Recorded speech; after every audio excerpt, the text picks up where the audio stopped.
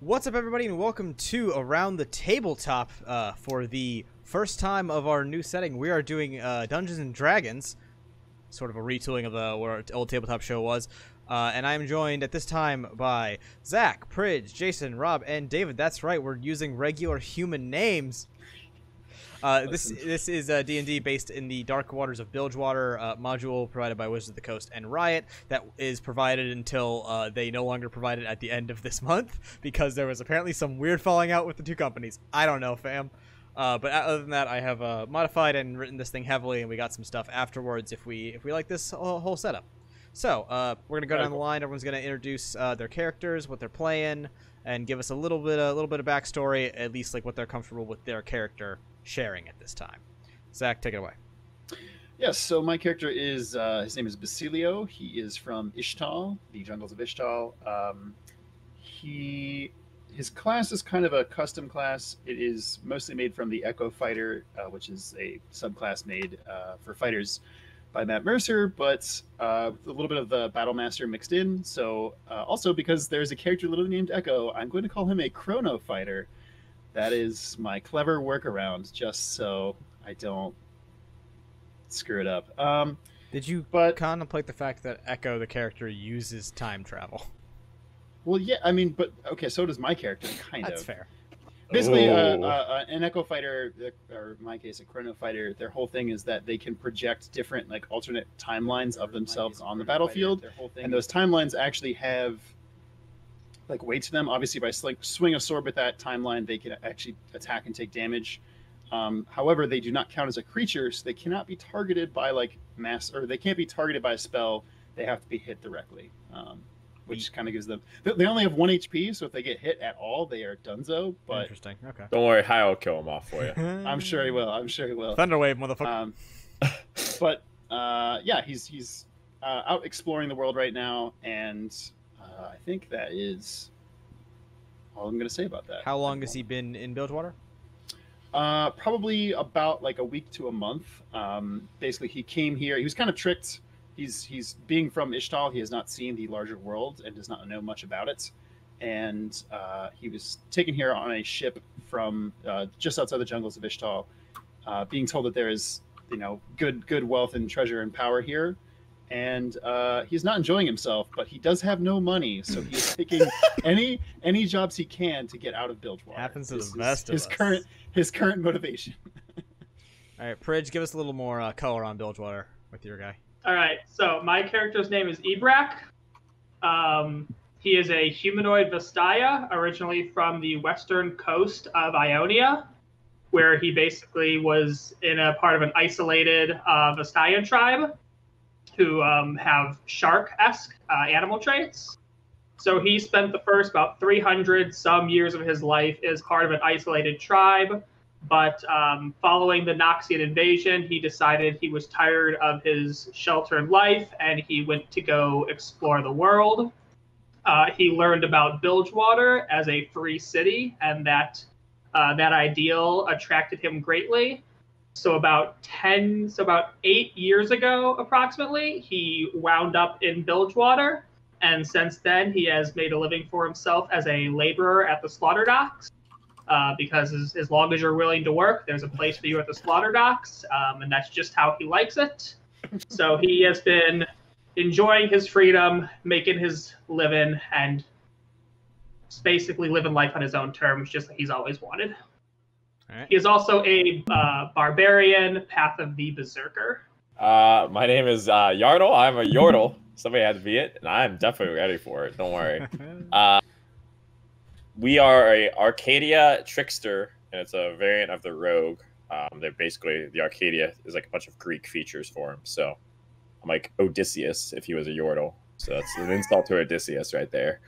Uh, anyway, I, I left Bandle City after uh, what's to say some artifacts, foreign artifacts, uh, were like left there by people who were snuck in, whatever. I got intrigued by them, never have seen them. I'm like, there's way more stuff to this, you know, Runeterra than just Bandle City can offer. So I got to get out of here, and I became sort of like an archaeologist, sort of just like a little like rogue traveling dungeons and stuff, trying to pick up as many artifacts, kind of scouring the uh the realm for anything that I thought was just interesting or you know could be you know trinketed or whatnot. Um, good at firearms, but not you know uh, stern enough to join the army like Teemo or Tristana. So they are pretty sad by that. But I had to do what I had to do. Uh, the reason I'm in Bilgewater is because I uh, Ezreal's beaten me everywhere else. Uh, I want to be the first to leave his stamp as an explorer in Bilgewater. I heard you have to have guts to go there. That's what I've got plenty of because I don't have anything else but that.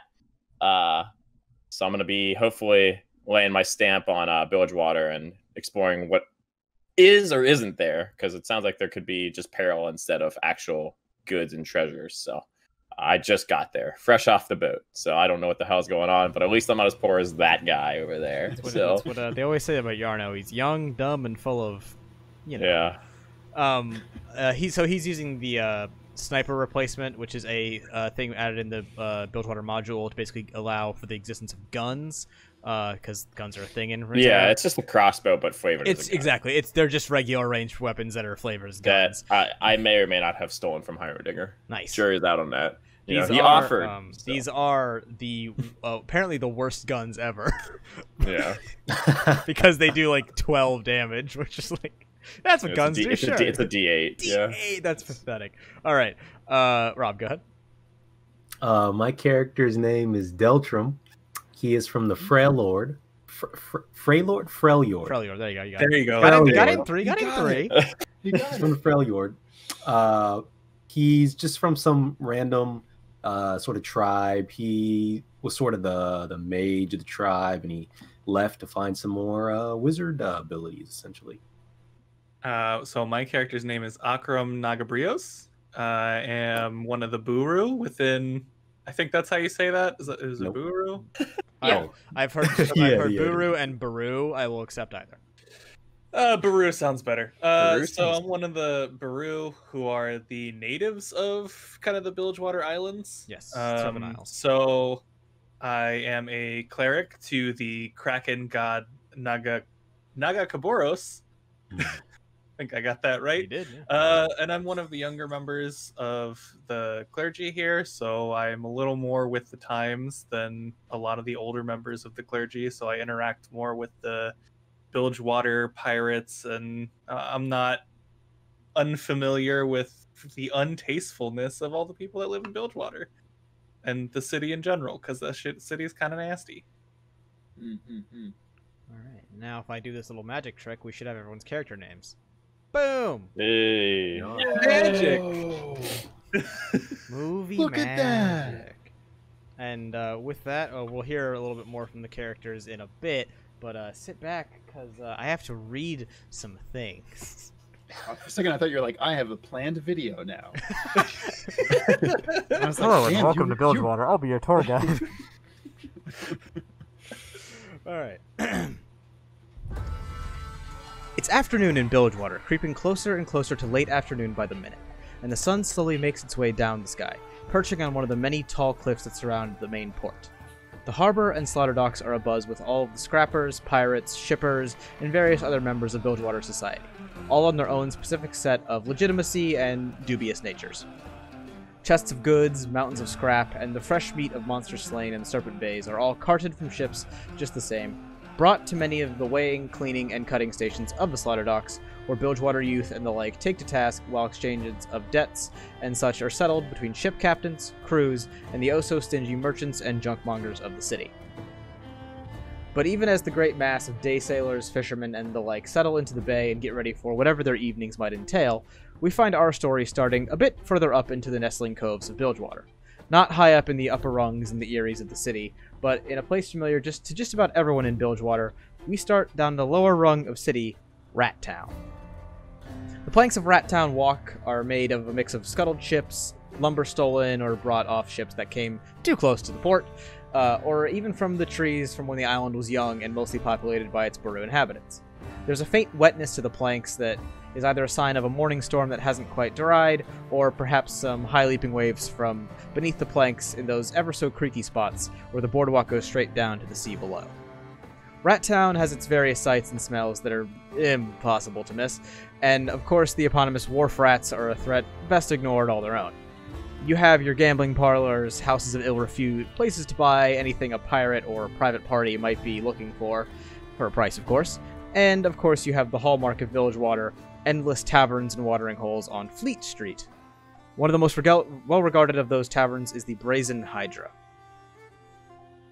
Uh, the Brazen Hydra, perhaps the most famous or maybe infamous uh, tavern in Fleet Street, uh, is a popular destination for sailors, gamblers, and mercenaries alike. Uh, built inside the upturned hull of a former slaughter, slaughter fleet ship, an intricate carved figurehead of many of a many serpented figure towers over the tower tavern entrance. Tavern itself spans three stories. Bar and kitchen occupy the ground floor, while card games and pool tables fill the second, and the top consists mostly of smaller private rooms for rent and sleep. Uh, though a few patrons visit the establishment during the day, the Brazen Hydra uh, is well known to be bustling as the sun sets and people come in from the slaughter docks.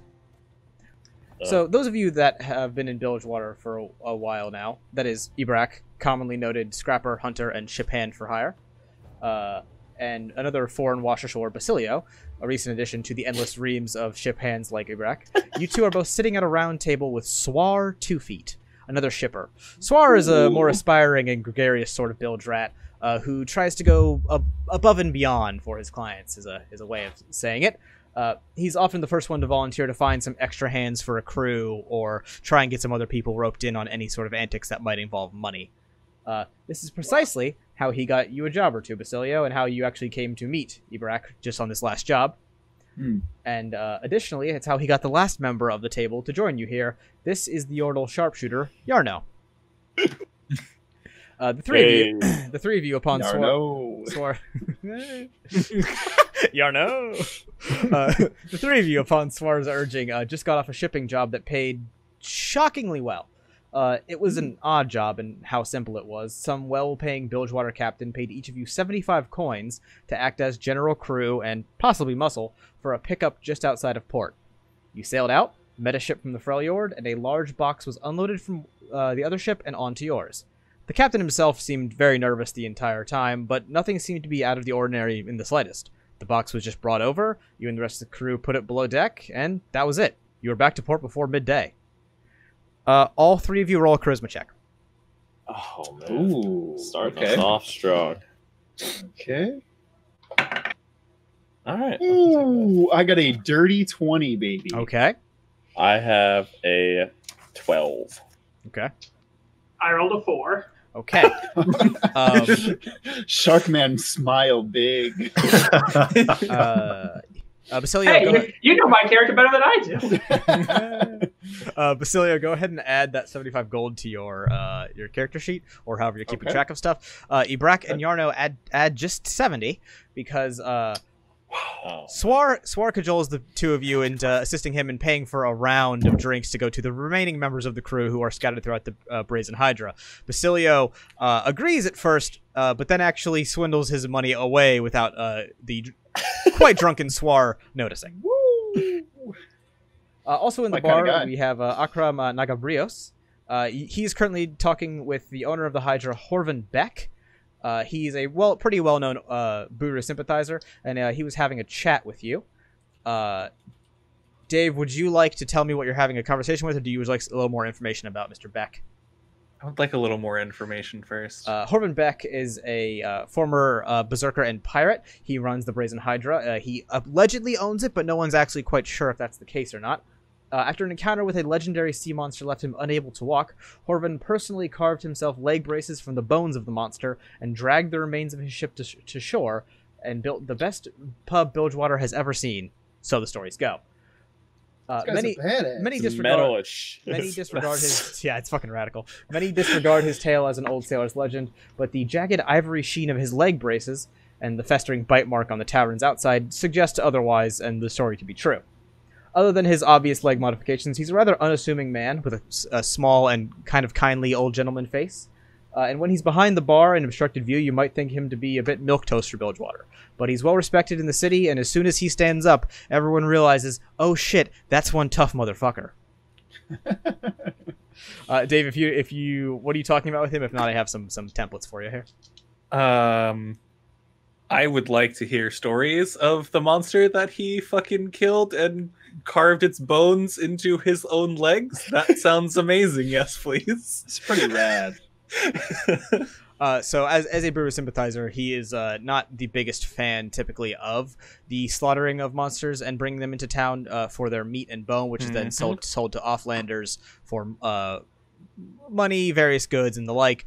Uh, but uh, he does in he does tell his story with a bit of uh, bit of rem- bit of unhappiness, as uh, it's clear that he wasn't necessarily out with the intention of, of slaying a vile sea monster, especially one that is most likely an individual and will not have you know kin uh, thus d- removing an animal from existence forever that will not be another one seen of it.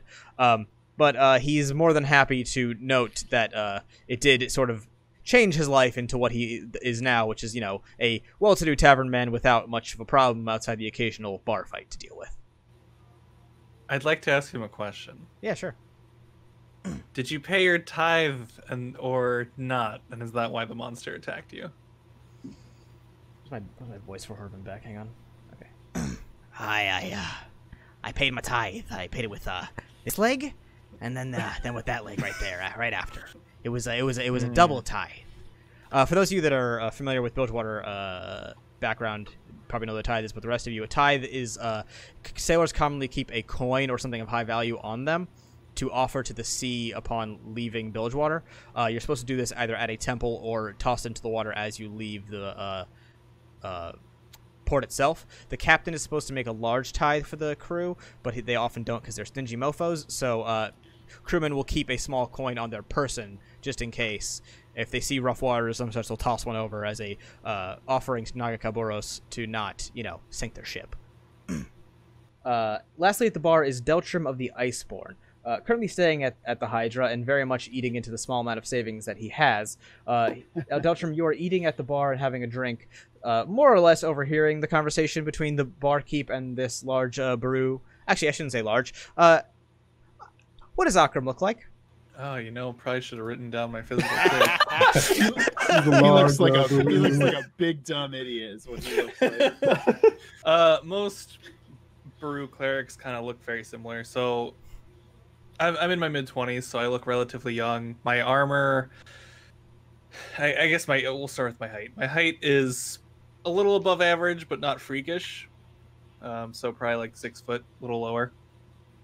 Uh, and then relatively bulky. Uh, definitely not uh, def like something you'd expect from like a seasoned sailor, someone who's been on this the seas and is constantly doing work. Um, armor wise, mostly chainmail on the bottom, but or uh, what's the word for that? Rose? Has like a bunch of ornate, Oh. like carved bone uh, Hmm. pieces on the outside, kind of ornamenting the whole thing. Um, with a shield on my back. Uh, actually, Deltram, I'm gonna ask you the same. What do you look like, friend? Uh, I'm a I'm a I'm a decent sized dude, right? I'm not the biggest guy, Right. because uh, I'm not a warrior. I am just uh, you know, a mage. But I come, I am Iceborn, so we come. We're a sturdy people, right? The Freljord, we're a sturdy people to survive in that kind of harsh climate, that environment. yeah. uh, I'm wearing like I'm not wearing. I, normally, I have on you know a bunch of warm weather gear, uh, cold weather gear, but I'm kind of slightly disrobed. I, I got like a little bag I could hold my stuff in, or maybe I just have like my furs just fucking folded up into a backpack or something. Uh, I don't know. I, I, How are you? Uh, how are you? How are you accommodating to the uh, sweltering heat and humidity of Bilgewater? By the way, as a as a man from the cold. Yeah, I'm not. I'm not like a fan of the cold, so I'm not a fan of the warm either. I'm just kind of like permanently uncomfortable all the time, you know. But you get you, you're used to it at this point, so you're just like whatever. So the This guy, the Freljordian man loudly sweating at the bar. he sounds, this guy I sounds don't, just like I don't me. need a refill. I'll just put my head over the cup. And, All right. awful. Um. So yeah, you're eating at the bar and having a drink. Uh, mildly listening to the uh, kind of loud story of the tavern keeper. He simultaneously is being loud about it, but doesn't want people to be like, listening because he's not fully proud of it. He's a strange man. Um. And uh, people are commonly giving you looks, not because of any distaste towards Freljordians. Uh, the opposite, actually. Uh, it is assumed that because you're a Freljordian, uh, you have money. Oh, Oh. It's common uh, for Jordan business business people t- uh, to come around here and throw their money around, as it were. Mm. Um, what is the conversation going on at the table with uh, Basilio, Ibrak, and Yarno? Dude, I'm gonna be fucking bragging about how much money we just made. That's his first step for Yarno in uh, paving his way to glory. I'm bragging Uh, about my past exploits. No one else wants to talk. I would say Basilio is taking in the conversation. He is not uh, keen to let on too much about himself personally. And uh, Ibrak, uh, S- you and Swar, I wouldn't say you go way back, but you're you're very familiar with each other, and he's a common uh, per- com- companion to see on a ship. Um, Right. So you you've shared your fair amount of drinks with him, and you've heard most of his bullshit stories. if that helps you at all. Alright. All right, so I'll assume that Yarno and Swar are the ones uh, mostly leading the conversation, talking about I their so. their uh, how much money they have. They're those Yeah. guys. There's those guys you knew in uh, in high I- school that bragged about how much money they made at whatever I- shitty I- high school I- job they I have had. a- I- I have a trinket store if anybody's interested. Uh, Zaun, uh, right over there. It's hard to miss. Hmm. Uh, sorry, I need the Hmm. canonical name of Yarno's trinket store. Uh, Yinkits Trinkets. Wow, I hate it. Ooh. Uh, Well, we know where I- Deltram's not shopping. Goddamn. Swar uh, leaning over his cup goes, "Oh, right, really? Uh, It's um, it's very uh, it's very interesting there. I'll uh, if I'm ever uh, in in the vicinity, I'll have to stop by and uh, uh, uh examine your uh, uh, your trinkets there." And yes, Well, he talks like that all the time. I would mention that the only reason to go to Zaun ever uh, is for not wanting to go to Zaun. So you gotta go go to the trinket store because that's the most fun thing to do. So Sorry, is that in character voice? No, it wasn't. My bad. I'm not Uh, ready yet. Here's a uh, rough, uh, rough appropriation of what uh, uh, Basilio looked like, according to Zach. All right. Uh, he, he, he, Do not actually. he doesn't have a helmet on. And he does have white hair. So of course, he has uh, white hair. yeah. All right. well, that's, I mean, that's what half half. that Ishmael is you true. have. Yeah, Shelly, or no, not white hair. It's a, it's a something. It's a void. You have a beard, Kaiser? Um, no, he's clean shaven. thing. Hmm. Okay. Um, go ahead and give us Yarno's description. Uh, so he's got. Oh god, this is gonna be so funny, so dumb. Uh, Hextech goggles like right here, like little tints on them. Uh, basically a, a fedora with the ears popping through a Oh, little bit, one's a little flappy. Oh, no. of course he has a fedora. Uh, I've got a leather uh, jacket that was custom made. Uh, I don't know if it's uh, gonna be uh, if it's because it's um what is it called when you have uh what's it when the Yordles the, Bespoke. no they have um glimmers or like the stuff that like manipulates what they look like. Mm, Glamour. mm, Glamour. Glamour, yeah, glamour. Uh, so I have a leather jacket, a utility belt with a you can see like a little whip and some pickaxes, Hextech or, like a gun right there. It's got a bunch of materials and a little knapsack that's almost bigger than I am because I'm only two foot two. So Yordles are comedically Two small. foot two. They're like, yeah, it's, you're it's ridiculous. Small shit. I'm two foot two. yeah, I like- guess that makes sense. Like Poppy Damn. is like a, a tall Yordle. Yeah, chakrams are short, short shorts to me, and chakrams are like normally like little like things. Yeah. So Wow. And yeah, uh, it's- Ibrak is a big fucking shark man.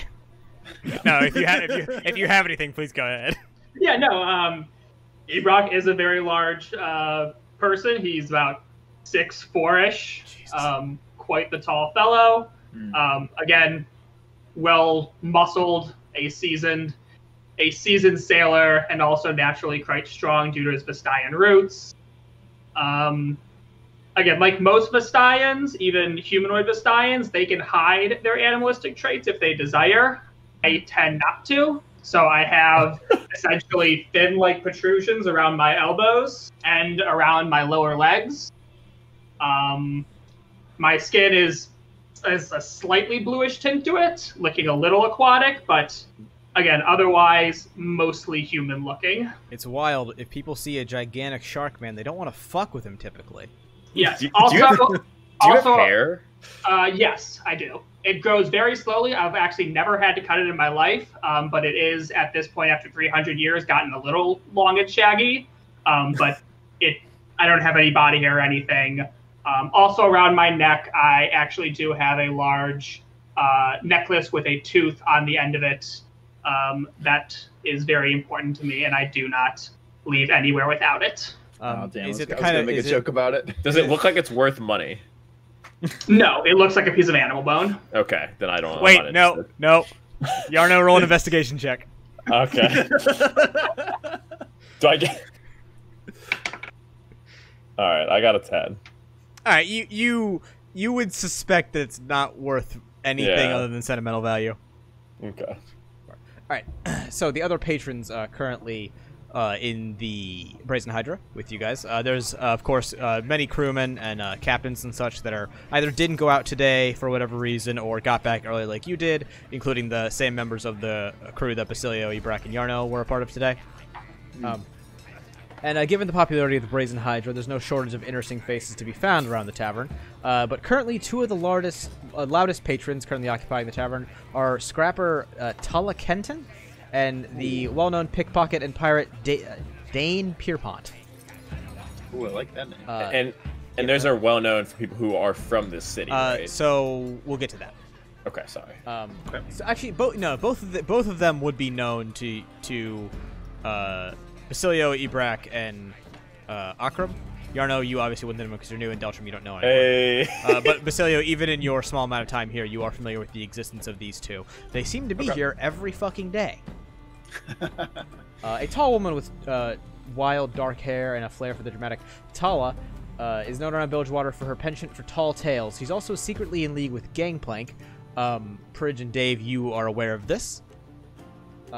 The former Reaver King, believed to be deceased, while it is now somewhat common knowledge that he is alive. Uh, her mother serves as one of the priests at the main temple of Nagakabouros, uh, and she has uh, more legend, more knowledge about the strange legends uh, that surround Bilgewater than the average person. Uh, Akram, you're aware that while her mother is one of the Baru uh, priestesses at the temple, uh, Tala herself is not a believer in Nagakabouros. At least not. Uh, she's not one to hang around the temple. If she has her beliefs, she keeps them Okay. mostly to herself, as it were. Okay, but she's Baru. She's of Brew descent. She's not. She's not pure Brew though. She's not like her. I, I from how I understand it, her father is not Brew. Uh, Dane Pierpont okay. uh, is the other uh, person. Uh, he has heard his uh, fair share of tall stories, um, and uh, he let's just say doesn't doesn't get along with her. Uh, he has a very shiny bald head and thick silver mutton chops. Uh, they're easily recognizable to anyone that frequents the Brazen Hydra, and easily recognizable by his loud voice that is almost always yelling something at someone.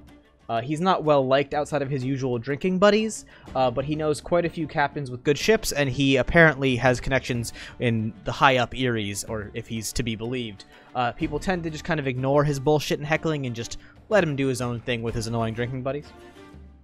Uh, these two are currently locked in a heated argument, and they're both notably drunk. Uh, you are all sitting at your respective seats, surrounded by the sound of raucous laughter and hearty swigs of Bilgewater's finest rum.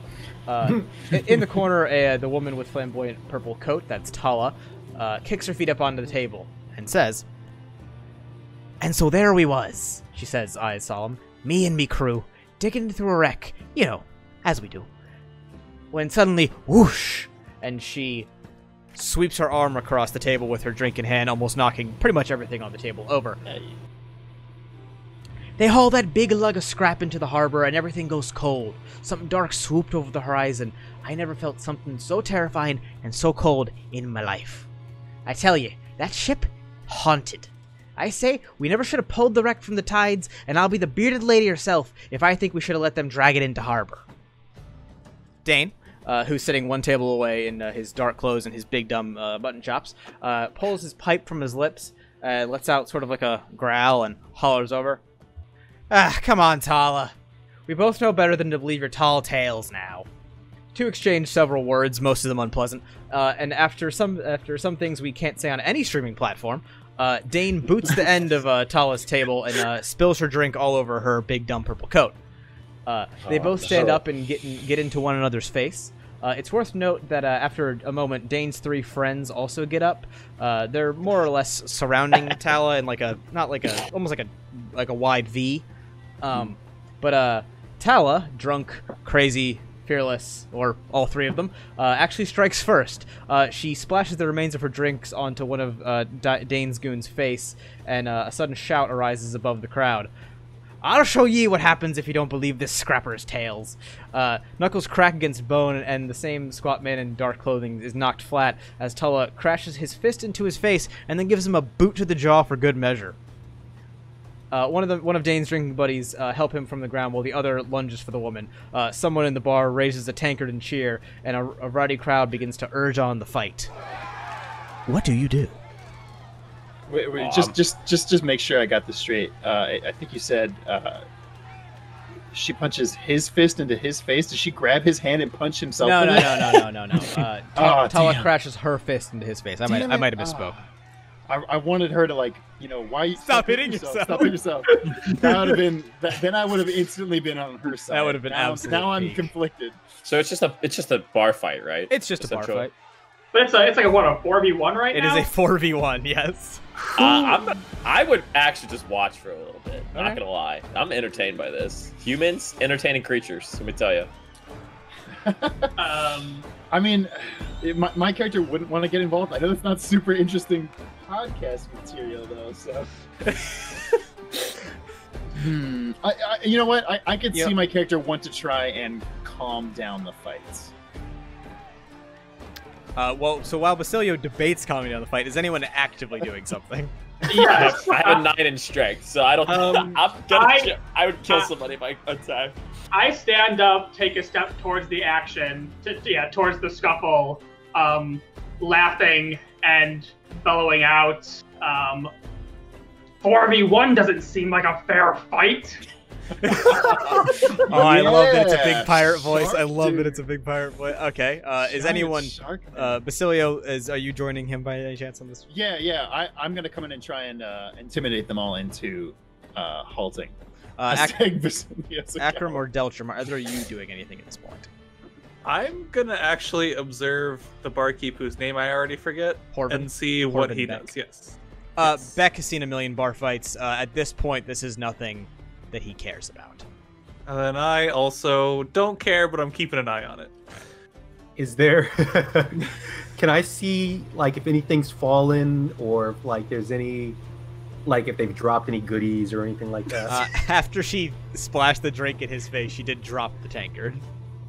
okay, then I, I'm still I, I'm I'm sipping and just. You're sweating over there. Like, He's got 30 layers on in the middle of a.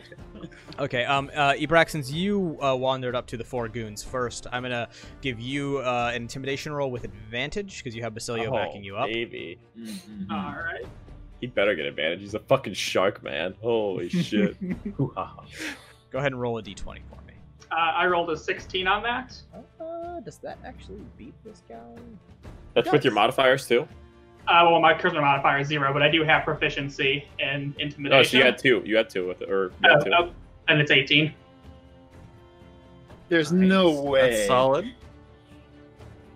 Yeah, if you have proficiency, add that add, add that plus two every time, on my dude. Yeah. All right, so um, Dane uh, Dane's goons kind of like freeze a little bit, realizing that this fight has actually attracted more attention than they intended. They basically intended, you know, to just jump this lady. Uh, it's another drunken bar fight in Bilgewater. It happens all the fucking time. What's the big deal? Um, Mm. but uh, at, at the sort of uh, rise of you two, Dane uh, gets to his feet, or is helped to his feet by one of his friends, and uh, sort of turns to you, Ebrak, and just goes, "You got a problem, Shark Face?" Hoo-ha. Ooh. My friend doesn't like you. I don't like like you, you'll be dead. Well, if there, well, if there's a fight, I wanted to be invited. That's all. Uh, one of uh, Dane's friends, uh, Dane's goons, goes, "Oh, fair enough," and uh, hits you on the back with a chair. Basilio, God. Basilio, Basilio, and Ebrak roll, roll initiative. Oh hell yeah! Okay, we're in this. Uh, Uh, Yarno, you, it- you you spent the day with these two goons. Are you assisting in any way? Yeah, I mean, I'm gonna. I, we'll see how much I get involved, but I will roll. All right, Swar Let's see. also gets up to assist you too. Uh, I Um, rolled an 11. Uh, what do I? They're, they're my homies for now. They're all I know in the city. Yeah. Is is it is initiative just a D20 plus your? Dex modifier. Okay. yes. No, Ohio. Oh, let me roll for Dane and his goons. Have Uh, fun shooting. My 39 Yarno, are you I- a- are you actively like up at this point, or are you? Nah, I'm just at the fucking table. Okay, cool. I got a 19. So, um, Dane goes first, and uh, he uh, draws his pi- his uh, pistol from his hip and shoots at Eddie Brock. Wait, he's shooting Ibra? Okay, dude, hold on a second. Whoa, this guy went from bar fight to bar kill. Get him out of here. Uh, it's it's of note that killing in a instigated fight isn't technically illegal in Bilgewater. Yeah, I don't know how it is in this Mm, town. It mm. could Uh, be. I also should note that just in Bilgewater in general, life is not treated very highly, and people Okay. die a lot. Okay, Mm. I'm just I'm new here, so this is intriguing. Um, sorry, give me one second. Okay. Uh, so he's rolling this. What does a? Oh, that's gonna fucking beat your guy to MAC. Does an 18 beat AC? Uh, yeah, I mean, my AC is 15. Yeah. All right, so you take not much damage probably. Uh, you take three damage.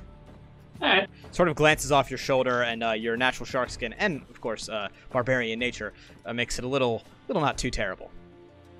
Uh, so as soon as he fires, uh, he steps back, sort of into the table that was just, uh, sorry, into the space that was occupied by the chair next to that table, and lets uh, the very same goon that hit you with the chair sort of step in front of him a little bit, just kind of slide on in there. Oh, I know what kind of guy this is. This is my kind of guy. Uh, and then uh, Swar goes next, uh, and Swar uh, coming coming up behind Ebrak, uh, just goes, ah, ah, this uh, fucking guy, I'm gonna fucking, I'm gonna, I'm gonna, I'm gonna fucking get this motherfucker for you. Uh, he pulls a knife from his side and whips it at uh, Dane, sort of sliding it over the shoulder and around uh, the goon in front of him. And let's see, this is he has to hit a pretty big number to hit it. He fucking whiffs like a motherfucker. It flies straight past him and wedges into a bar pillar behind him. And then Swar kind of goes, "Ah, yeah, that was just a fucking uh, false sense of security for the guy. I'm, uh, uh, I'm just gonna." And then he also takes a step back. Swar's a fucking punk ass bitch. Basilio, go ahead. You have the three goons that are sort of in a line between you and Dane, and then Tala is to your left. Radical. Okay. Uh. Hmm. I am not gonna break out. I'm, I'm not gonna reach my ultimate power level just yet. You know, I don't wanna. I don't wanna freak these people out. Uh, I'm gonna come up and um. So we, we, we got we got these three goons in front of me essentially. Yeah. Okay. Uh, I'm gonna come up to one of them, and because this is a bar fight, Basilio's not afraid to fight a little dirty, and I'm gonna do a feinting attack. Okay. Uh, go ahead and give us the give us the, the guts on that. basically uh being a mix like my, my my special class i have some superiority die which will allow me to do some bonus action on my turns uh, i'm going to use my attack to do like a feint attack and i'm going to choose one of them as a target i have advantage on my next attack roll uh, before the end of my turn and if that attack hits i can add the superiority die which is a d8 to the attack's damage roll Okay. all right so So you have Goon nearest to Tala on the left, Goon in the middle, and then Goon covering Dane. uh, i'm going to go goon covering dane Okay. 'Cause Uh, so he- roll with he attacked my boy. All right, Da- Dane's Dane's boys are the one who attacked uh, Ebrak. Ebrock, right? Uh, Okay, yeah. they haven't attacked. Yeah, they attacked. Yeah, Ebrak didn't attack yet, man. You're, you, Yeah, you No, no, no, but, but, but who, who shot Ebrak? Dane. Dane Dane. Oh, okay, I'm gonna attack one of Dane's goons then. Yeah. for sure. All right, my attack roll is ooh, that is a seven. Nope, Uh, you have advantage though, right? Did you say? I do. so You're roll right. that boy again.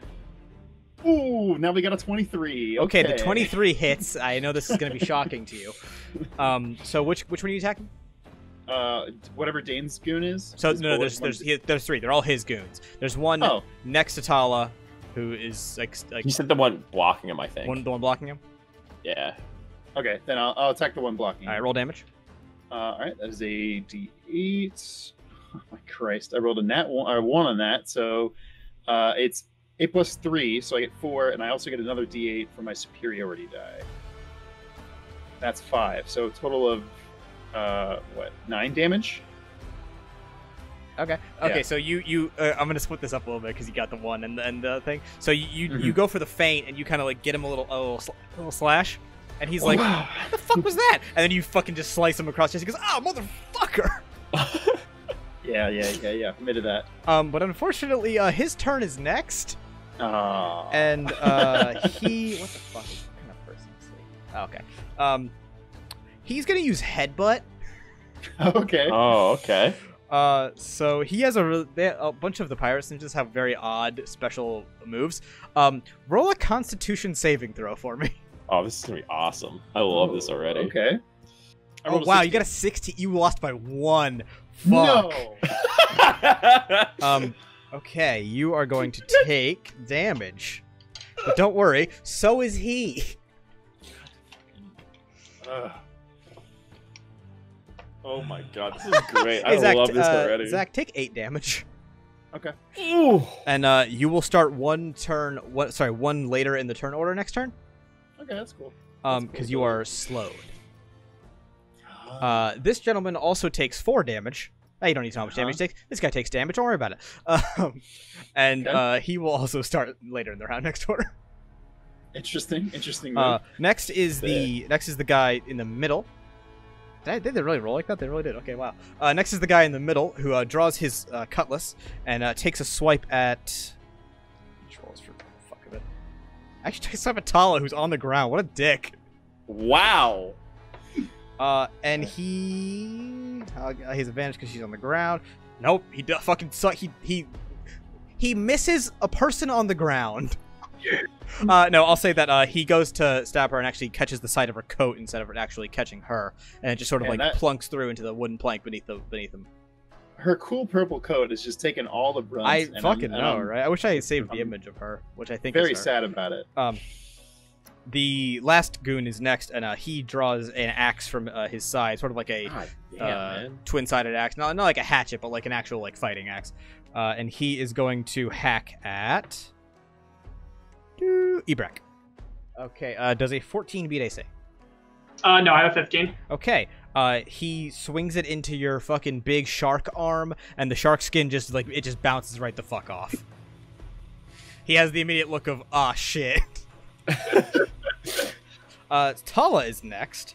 She uh, gets herself up uh, from her uh, like knocked down state and uh, jumps across the table. It's a big round like wheel table uh, onto Dane, tackling him to the floor. I'm gonna roll this. No, J.K. He sidesteps it and she just flies across and just planks. It's my kind of bar fight here. He's so drunk. Uh, Yarno, after after the shot, are you fully engaged in this fight? I'm gonna be engaged. All right, man. you I'm can't gonna- start drawing weapons on the only people I know in town. Yeah, I'm- gonna I'm putting- screwed. then you're gonna go now. All right, I. Oh, okay. Is is somebody has shot a gun, right? Dane yes, shot Dane a gun. shot a gun, and and when he shot the gun, the bar went quiet for approximately like two seconds before ma- more people started just cheering the fight on more. All right, and and um, Horvan Beck didn't fucking blink. Okay. Ev- Uh, Everybody checked to see if they got shot. They're like, "Oh, not me." Yeah, yeah, Okay, like. Everyone everyone like checked their their their pistol or effective firearm, and they're like, oh, it wasn't me. We're good. We're good. We're good. Um. So, oh god, this is gonna be interesting. Um, are, are all the goons kind of like similar looking uh, besides Dane? Uh, Like, they're all they just, like- actually do have descriptions, or I, ha- I wrote descriptions for them. Uh, so the gentleman with the cutlass has a tall cut mohawk and Buhru tattoos, but he's not Buhru himself. Uh, the guy on the far left, who with the axe, uh, is clearly not a not a Bilgewater native. You would suspect he's Noxian. Um, Okay. And the other guy is a generic ass generic pirate. He even has a hat and uh, a peg leg. This, was this the guy who headbutted me? This is the guy who headbutted you and hit and hit, and hit Ebrak with a chair. Fuck this Yeah. guy, man. He is he Uh, is what I would describe as a big motherfucker. I'm gonna. Oh god. Uh, what A I'm gonna do is big dude. jump off the table Okay. like this. I'm gonna bonus action hide amongst like Basil and like like the, the, the people in the crowd a little bit right here, like Uh-huh. kind of like weave in because I'm a I'm a halfling, so I should be fine. I'll roll for it if you need me to bonus action hide. Uh, but what what do you what do you want? Keep, keep telling me a story, and then I'll see what. you So want to do. basically, I'm like getting in between these people here. I'm gonna take out one of my chakrams and then stab one of the guys in the feet. okay, to get up. give me give me a dex check. This guy's Okay. two foot tall. You mean to tell me he can't hide among a crowd? Uh, I've got a, a dex check. Yeah. Yeah, I got a 17. Okay, yeah, that'll pass. I was gonna say if you if you tried to like hide amongst the crowd, otherwise people who are rousing on the fight would push you, sort of like you know, ring up people yeah, push you back into the fight. through. But Yeah, you're you're small that's enough fair. and slippery enough as a yordle to uh, move through the crowd, and then uh, go ahead and give me uh, your attack roll. Do I uh, get uh, sneak attack. Do you have? Am I? s- Do I? Am I you, you have sneak hidden? attack, right? Yeah, I would say you're considering that you didn't also you didn't join the fight initially. You're joining it sort of after the fact. They were already accepting the fact this is who I'm fighting. Also, he's a bit dazed. He just headbutted a motherfucker. Yeah. Also, uh, he's surrounded by my boys, or at least Yes. near him, so I should be fine. Uh, does a does a 23 hit? Obviously. Yeah, yeah, 23 fucking hits. Jesus Uh, I'm doing. I'm dropping. I'm dropping. Uh, hard numbers out here. a lot of numbers on this guy. And uh, you're, Uh, you're attacking peg leg, right? 14 damage with a chakram in the foot. Just. You're attacking peg leg. I'm attacking the guy who headbutted. Yeah. Okay. Uh, Wait, so you're hitting him in his good foot. Okay. Uh, 14 damage, you say? yeah. Okay. Uh, he is severely bloodied. Um, went from a stab to the foot. Look, man. Um, yeah. He you you get him in the foot, and he uh he tu- he tumbles for like head first into the table, and banks it off, and it knocks the whole table over, and it's now like sort of uprighted, and uh, he's just kind of now laying prone, kind of clutching the side of his head and his leg. He's Uh, not dead, but he's thoroughly incapacitated. I'm gonna bonus action hide behind Basilio's boot, just like this, like. Okay, hold on. After you know what? Fuck it. Sure. He makes such a big scene with knocking over the table and all that shit that you sort of hide in in the in For the bonus action hide, I I got a uh, I got a 13 for stealth. It's not great, but Uh, I'll I'll give it to you. This fight's getting weird. All right. Um, and we are back at the top of the order. Uh, with actually, well, hold on. I should ask. Deltram and uh, Akram, just watching still. Do I not get to go? Does it seem like Oh, you're sorry. are? I'm sorry. I totally skipped over Okay. it. Go ahead. You're the bottom of the order. and I thought uh, you already went. Go ahead. It's No. Charmin. Um, all right. So I thought this was a bar fight. We were just gonna be throwing fists, but someone tried to shoot me. yeah. Uh, a- as as a as a as a as a Bilgewater native, that is par for the course for Bilgewater bar fights. Yeah, but man, you shoot damn fists. There fist there is a there is a term called uh what is it called? I think it's called a wharf cry, which is just the term for uh the na- the natural sounds of Bilgewater that includes gunshots that you just kind of just kind of drone them out. So I uh, so I thought this was gonna be a fist fight, but someone tried to shoot me. So I pull out my hand axe, uh, and I'm going to attack who's ever closest to me. I think I'm gonna assume it's the guy who tried to axe me. Uh, actually, it's going to be the guy with the cutlass in the middle. Really? What happened to the guy who? Oh, you know what? to- They switched. They switched positions. So yes, it will be hand axe guy. Uh, all right, so I'm going to attack him because I'm salty. Fair. You're you're you're, you're a sea creature. Uh, go sea ahead creature. and roll that attack for me. I appreciated it. Thanks, bud. So Uh, I roll a 15. Ties go to the attacker. Yes. I goes to the runner. Yeah, Tiger's runner. Okay, so you hit uh, damage roll. All right, um, so I think it says a hand axe is a 1d6. Plus your strength. Plus your yeah. strength Plus strength. Yes. Okay. for damage, at least. You don't do. You don't add your proficiency to damage.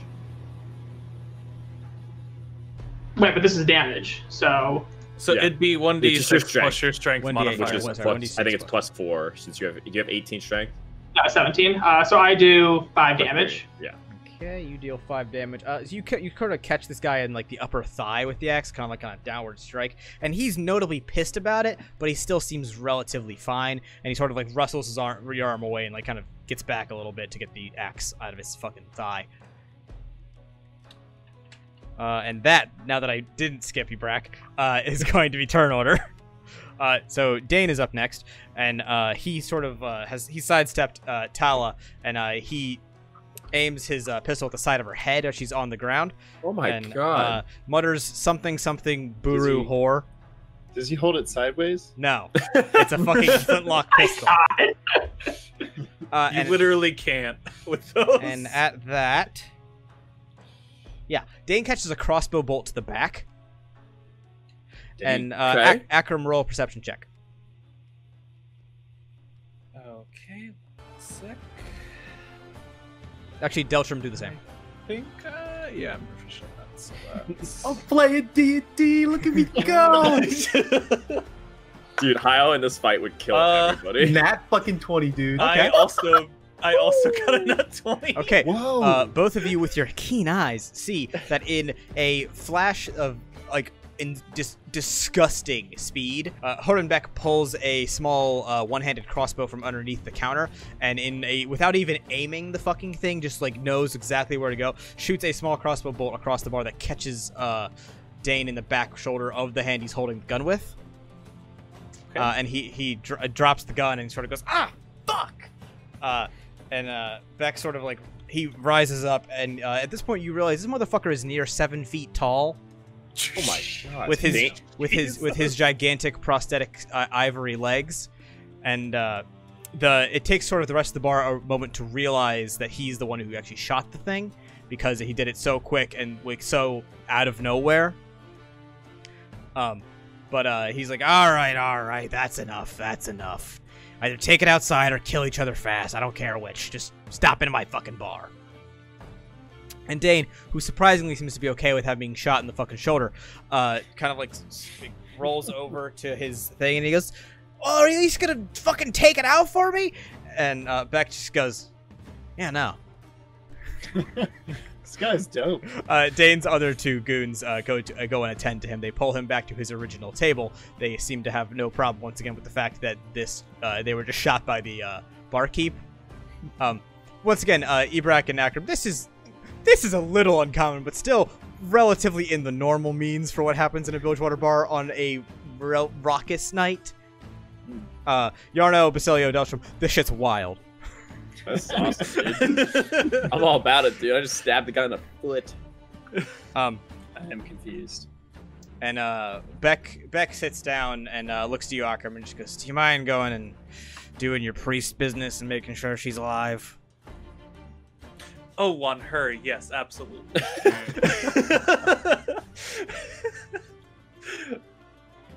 All right, Dane can bleed out for all I care. And Horvan Beck, man who knows everyone in town, goes, "Who?" Um, he also looks over to you, Deltram. Are you still are you still watching this big motherfucker?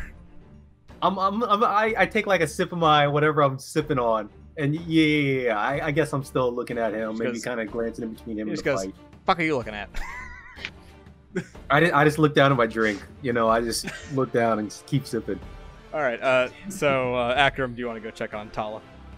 Yeah, I'll check on her. I can So just go ahead. as you walk over, uh, Tala, noted psychopath, uh, sort of like rolls onto her back and just like kips up to her to her feet and stands up like nothing happened at all. She uh she she writes the table, and uh she gives um fuck it. Hell yeah, she gives Yarno a big hug. I'm surprised you can see me amongst the people. Ah! She cradles him like a baby. yeah, jeez, Pete. So I have any say in this hug or no? yeah, I'll, I'll, I I'll give you a, I'll give it. you a, I'll give you like a you want to do a dex check to sort of like maneuver out of it, make it into like a Christian side hug. Oh, dude, I got that dex. I got a, I got a fucking twenty, uh, twenty-four. I'll make this a dex contest for funsies. Jesus Yeah, you beat her. Um, so yeah, you sort of like you like kind of get away, and she gives you like a weird, awkward around the side, like kind of like a hug pat, and then you sort of like slip away. Uh, she stands up and uh, offers to shake e- Ebrak and Basilio's hands. At the same time, she's doing like a cross hand gesture. She's a once again weird person. uh, Basilio is like rubbing his head from where he just got headbutt still, and like doesn't real like it's like a natural thing to just like be kind and shake somebody's hand, and he, he does it. Okay. Um, she uh, sort of claps her hands together and uh, looks at the, the three of you and Swar uh, and goes, "All right, th- th- th- thank you so much, guys. Uh, how, how how about I buy you a drink?" Here, here. Uh, Uh, out a drink. Akram, you're sort of like walking over during this, and she's like pushing these four towards you, and you sort of get like swept in, and she goes, "Oh, you work with my uh, my mother there, don't you?" Uh, she's Irish now, apparently. I don't fucking know. She's a weirdo. That's all. Yeah, she's a strange Yeah. person. Schizophrenic. One of our personalities is a pirate, the Yeah. other is an Irish person. She's an Irish part. That's a thing.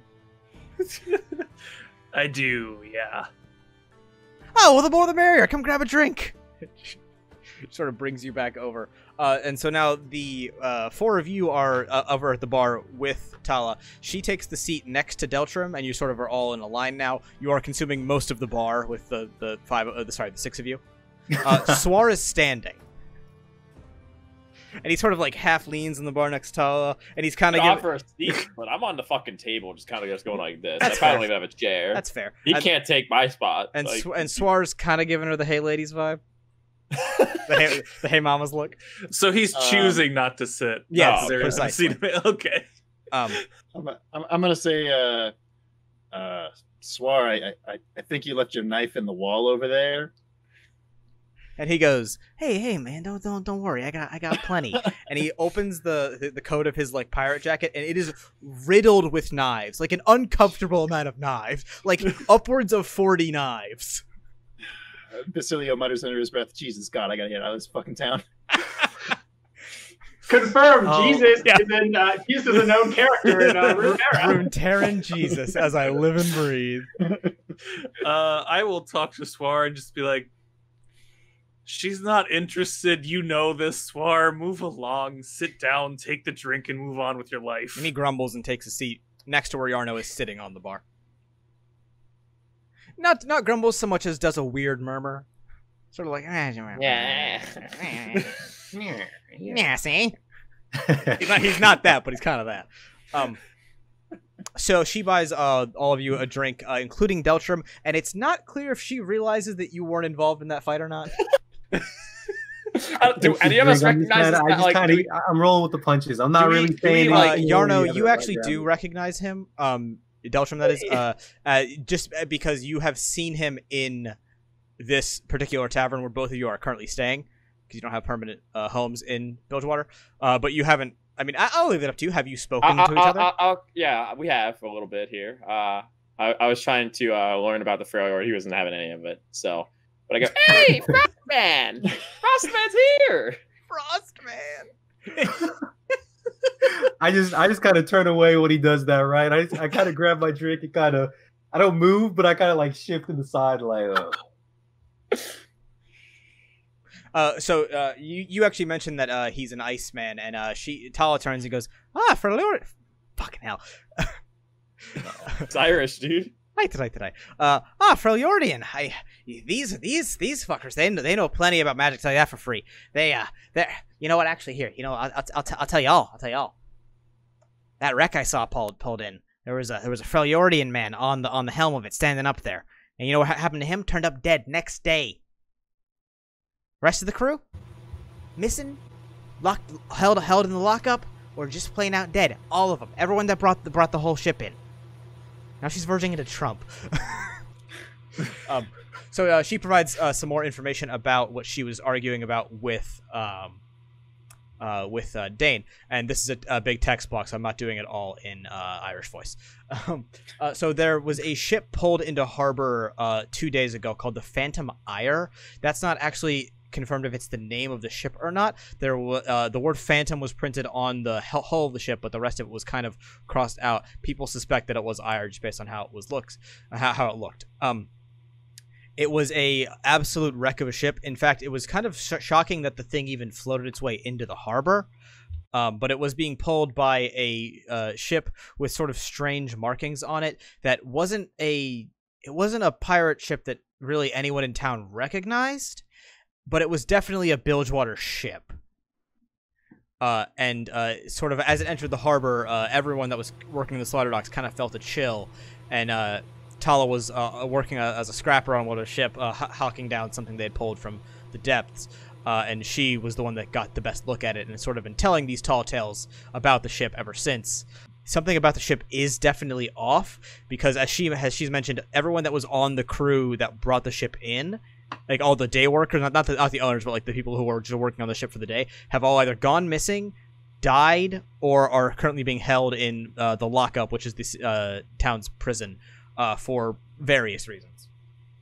Um, she explains that she knows deep in her gut there's something not quite right on that ship, and most more importantly, there's something on that ship, and whatever it is, it's powerful enough to. Uh, and this is a, Oh, this is a quote from her. Drag all of Bilgewater straight down into Nagakabouros' depths. Uh, she knows the ship is in the salvage yards, uh, out by where the dead pool, which is Gangplank's old ship that has since been detonated, is. Uh, that is uh, so Basilia, eh, yeah, Basilio, Ebrak, and uh, Akram. You would all know that like that is still part of the salvage yards, but since uh, GP's death, it's not really used that often because in order to actually get in and out of that, you have to navigate around the big sunken pieces of the dead pool, which are actually removable, but people haven't moved them out of sort of fear slash respect for the uh, Reaver King Gangplank, especially with the knowledge that he is almost certainly alive. Yeah, but this is uh, so it was brought over to where the Deadpool used to rest. Um, uh, but she knows for a fact, and she sort of mutters this under her breath, that the Reaver King had nothing to do with this, and knows nothing about that ship. Uh, the ship never would have made it. Sure, uh, the ship never would have made it to harbor if Gangplank was still in power, uh, due to his sort of like superstitious nature. Especially uh, not for wanting to piss off the Buhru, who aren't too keen with uh, things being brought into harbor, just in general. Um, she heard that the uh, ship itself is out by uh, McCregan's warehouse or uh, kill house, which is a like a kill house is basically where they chop up uh, sea monsters and shit. Um, Okay. But yeah, it's in it's in the old hauling dock of McCregan's warehouse. Uh, she does not know who the buyer is, but uh, she heard that basically someone uh, in Bilgewater procured the ship for some uh, very expensive buyer who wanted to get something off of it. Is it? Is, are they implying it's a, an object, or are they implying it's like a person? Unknown. This this wasn't the ship that we did this like suspiciously easy job on, right? It is not that ship. Okay, and it was called the the Phantom Ire. Phantom Ire, I R E. Okay. Not to use the Ireland where uh, Tala is apparently from. Um, she uh, she suggests not finding out anymore, just kind of leave it at that. But uh, Hmm. if you if you happen to have the intention of sinking the ship, which she would highly recommend, uh, if you want to do a favor to her and all of Bilgewater society, um, she suggests finding out who the buyer is because they might be able to give a uh, better inkling of what's actually on the ship. Once again, uh, she knows that it was a Bilgewater party that brought the ship into harbor for someone else. This who the someone else is is completely unknown.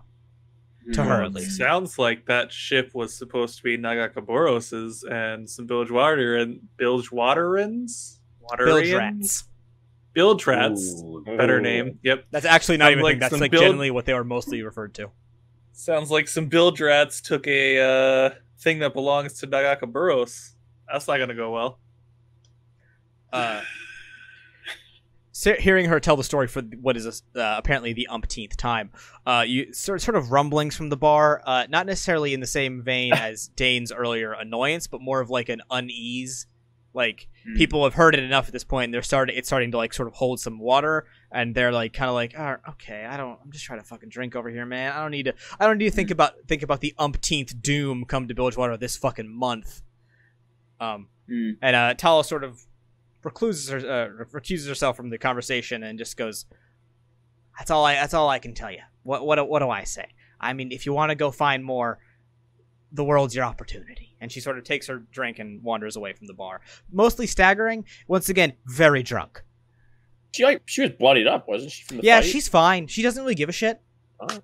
She took she took a, she took a bum punch to the gut and then one to the face and then threw herself across the table. But like, and, like she is still bloody, but she doesn't seem to give a shit. Is more along the Mhm. lines of what's what's going on in, in her life. Hmm. Is there any chance Deltram knows of like some sort of magical do how that's similar to this with some symptoms like this or so whatever? actually, sort of. Uh, so on the boat you took in, uh, there was a Freljordian man uh, who you didn't like. You weren't familiar with his tribe or really much to do with him at all. But he he was dressed like a well-to-do Freljordian. He had like a nice. Uh, he he might have been the chief of a uh, tribe that's uh, sort of molded into Demacia or Noxus with the uh, like en- encroachment of the South, and is now more of like a more of a businessman than actually like a noble at this point. But uh, he he wore Freljordian uh, tribal attire, but it was more modernized. And uh, he mentioned to you, sort of just in like a casual conversation between like uh, Freljordans, that he was going to Freljord, he was going to Bilgewater uh, in order to look for something uh, incredi- uh, incredibly useful. He did not. He used the word useful multiple times. Uh, in order to help his friends at home. Uh, and I actually need you to make a uh, investigation check in the past. Okay. Oh shit, how you can time travel. Actually, I'll, I'll let you do investigation that's- or perception, whichever you prefer. It's Uh, probably I don't think it's matter. I rolled a two. Okay, okay. You utterly believed this man. Fuck, Mm. man. I even have decent perception. or in- investigation, you would have to. I have okay. Yeah, I got decent. I got decent investigation as well. Fuck. Yeah. Yeah. but uh, he insisted he insisted whatever his purposes were was to totally help the homeland. Absolutely, Oh yeah, and you believe him. Mm. I Mm. bought into that. Deltram's all about Freljordians. He knows how to pronounce it and everything. do I do I know where he went anyway? No. He in fact did not get off the ship the same time you did. Okay. Um, Mm. So as Tala walks away, Swar, uh, hearing the opportunity for something big and powerful, which is all he needs, he equates that to uh, big money. Uh, and I mean uh, that's fair. And uh, he sort of like strikes. Uh, he he fills the slot where Tala was just sitting, sort of like strikes around all of you, and he goes, "All right, oh, okay, okay, hear, hear me, hear, hear, hear me out here. I, I mean, I mean, it's it's big and powerful. There, there's there's all kinds of. I'm, I'm, I'm verging into Hayo's Joker impression. I just realized. Um, there's uh, there's there's there's plenty of plenty of buyers in Bilgewater, and uh, it's just one more scuttled ass ship in the fucking harbor. All we have to do is get it, get whatever's on it, and then we have to we can either bring it to this alleged Mr. Buyer, or I'm sure we can find another buyer. I got I have friends in Oh. the I have friends in the Soldiers of Fortune. I can I'm sure we can equate someone to try and give us a little bit of money for whatever's going on here. Yardo can find a buyer, no problem. Who the Uh, fuck is Basilio, No, he, does- he knows who you Ah, third person. Basilio is like, "Uh, listen, if if we can make some quick, good money from this, then the sooner I can leave Bilgewater. I'm in. Any, anyone else I- have any input on this?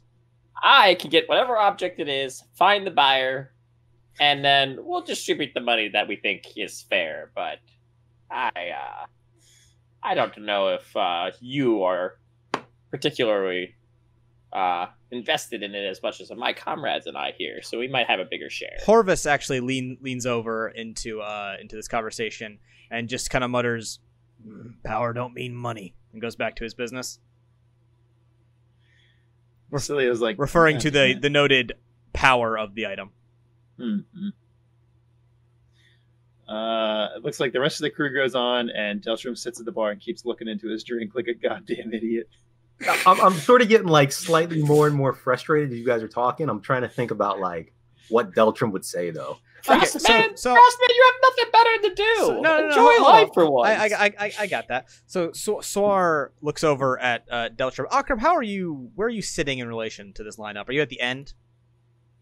Um, I mean, I think I was between Deltram and uh, Whol- Wholesome. Wholesome, Uh, the bartender. Uh, he's behind the bar, so yeah, okay, that works. So so Swar sitting next to you. Uh, he, Yeah. he turns to, to the the two of you and uh, just goes, "Look, worst case, it's a little bit of money in your pocket. Best case, we all find something we we we graciously need. You get to get to send that ship back to Nagakabouros, and you, I don't know what the fuck your deal is, but." But who doesn't like a little money? You look like a, uh, frankly disheveled man. Jesus. I'm gonna take that as an insult. it's, I no- don't it's, know. it's notable that Swar is very, like, he has, like, a. He's a, he's charismatic, but you wouldn't say he's charming. I can re- I can respect that def- uh, description. Yeah, yeah. Uh, that was my around with- plan no. all along, Swar. cannot wait for this. I'm, I'm ready. Brace yourself. Go yourself. ahead, Akram. I want to hear what you got to say. No, my I plan all Belgium- along was to give the ship back to Nagakabouros. I'll go with you, but not for the money. And Swar claps, like, ah, that's what I like to hear. That's, that, that's exactly what I like to hear. Someone that's not, not interested in the money. The, see, the, the, it, it, it, it's, it's bigger than the money sometimes. You got you got to think bigger. My picture. share's going to the church, you dimwit. yeah, all right. That, uh, that was, uh, I like le- I like legit jobs, not chasing rumors. You all play around with power you don't understand. Ebrak, Ebrak, Ebrak. When, when, when have I steered? Well, when have I steered you wrong in the past? Minus all those times I've steered you. To- minus those times I've steered you wrong in the past. Roll a char- roll a charisma check, motherfucker.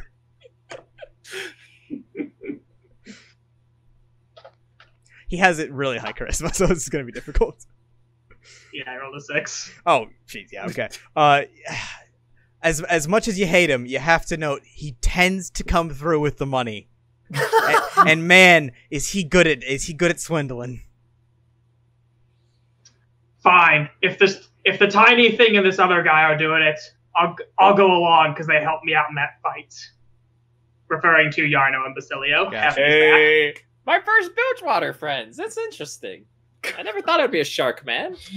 And I, uh, Basilius was like, wait, I think the Freljordian was going to say something for once. He's a quiet man. I'll come along with you. Oh. Swar Swar kind of leans in for a cut, or is this sort of like an academic interest kind of thing? You don't need to know what I'm interested in, but I will come along with you. All right, all right, all right. Here's what here's here's here's what we do. You you five, go try and go try and go try and find out the name of this buyer.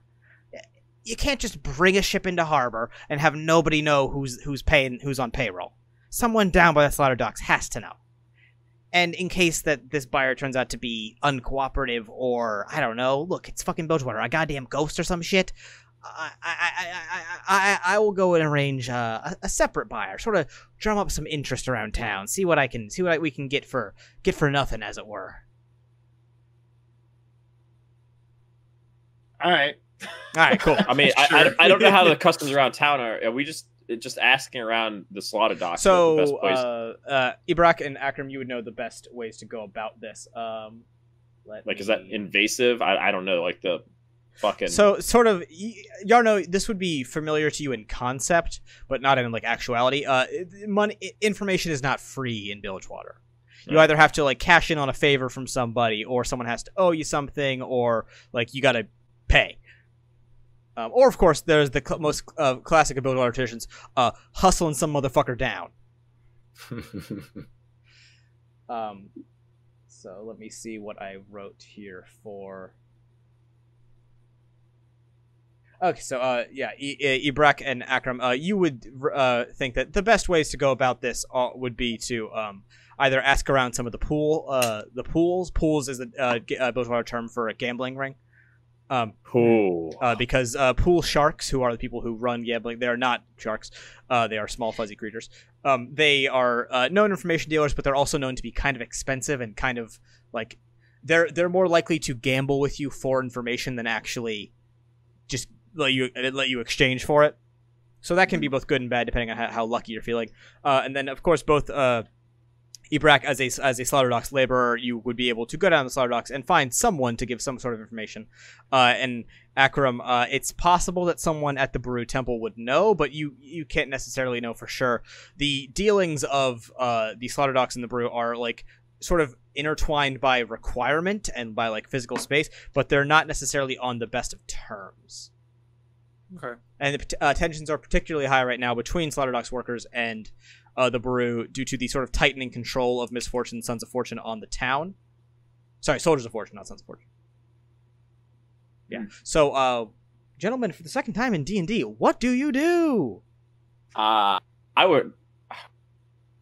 Feeling kind of lucky. I I don't know if if if it's trying to push what we can do. I think I think we can swing the odds in a little bit of uh, gaming. I, I I've been around the bend a little bit. I I know these humans pretty well. Uh, let's let's try to compete against them.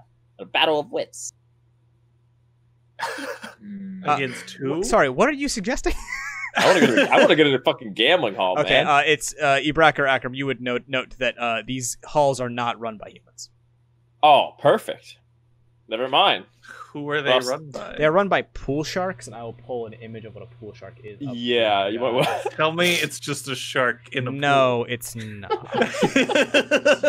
this is a pool shark. Oh, that guy looks Oh, awesome. okay, okay. What the? It's a, it's a good so card. clean, though. He's It's a not good card in Legends of Runeterra. Yes, this is a card in Legends of Runeterra. Uh, I would love to talk to that guy. It's kind of it's kind of like Yordle. Yeah, except less sexy. oh. Absolutely. Or depending who you ask, more sexy. App even even better, Fisher. Perfect. Can I can I talk to the pre uh talk to uh, uh Mizuki? Yeah. Okay, so I like actively turn away from Yarno and I'm like, priest, have you ever seen something like this before? To me? About no, me? no, No, to uh, me. Mizuki, Oh. to Akram. Uh, define this like the the weird shippy thing, or the yordle, or to be fair, Deltram would have seen Yordles before. Not the Yordle. I'm talking the ship. Actually, all of you this kind of effect on this many people before. Has it happened? That's a good question. Have I? Um, how old are you? Late twenties. Yes, you. Uh, so, I mean, you've seen your fair deal of spooky shit. Uh, most notably would be the last harrowing that hit Bilgewater. Uh, the harrowing is a uh, to call it recurring isn't right. It's it's a thing that happens every so often without sort of any ra- any rational reason. It just sort of happens. Uh, basically, uh, spirits from the Shadow Isles creep across the sea and uh, besiege the town. Basically, um, the last time it happened was uh, a couple years back. I think I think the canon is six years, but I could be wrong about that. Uh, and it was fended off by uh, Illaoi and Gangplank, So and, well and the rest of the town. Yes, you And were you were certainly Okay. alive for it, and you most likely saw Illaoi as she is like Yeah. the head Buhru priest at the priestess at this time. Uh, you know, driving You- driving back legions of spirits with her gigantic fucking uh, Nagakabouros powers. Uh, yeah, I've seen worse than this. This this is definitely not the worst I've seen. Yeah. Uh, sorry, quick question, Ebrak. How long have you been in Bilgewater? How many years? Eight years. So yeah, so you've also like like some Doomsday is like a fucking regular occurrence in Bilgewater. There's always a giant fucking sea monster or a pirate attack or a fucking like street war or some bullshit. Yeah, because I've been around. I've been around for last harrowing and for uh, Miss Fortune disposing Gangplank. Yes. I've been around for both those events. Yeah, no, this isn't even that unusual. Like, not even like, not a rare occurrence. But it, it is probably worth note, and you would also know this that like when people bring things in that are like ever, ev- that gets the whole town in a in a tizzy, there's usually some artifact or something that is causing said like. There's uproar. usually some truth to it. Yeah. Yeah. Okay. Yep. What? Surely this isn't the kind of thing you just want to give to some random street rat for a few coins. Well, obviously Did no. you just call me a street rat? I can hear you.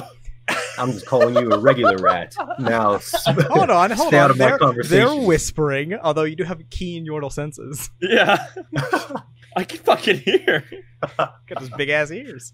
Can you? Uh, maybe I just nod at that point, and I I'm like lead on. Okay, so what is the what is the overall consensus? You guys are gonna go uh, to the gambling pools, or you guys are gonna go to the slaughter? I try to convince uh, Shark Teeth and Desert Dude to go to the gambling hall. It's from a jungle, but nice try. Are you talking about me? Yeah. I was about I'm from the jungle, baby. Jungle Boy and Shark Tooth. Yeah, jungle, Uh, jungle, you made Ja- it. jungle James. You make you make the decisions. I'll follow. I'm I'll- I'm a, I'm, I'm You're less uncomfortable piratey than you were before. I, I'm trying to nail this voice down. I, Yeah. I haven't figured it out just yet. That's fine. I'm fine. trying to do a gr- I'm trying to do a growl sort of thing, but I, I'm inconsistent on it. Right.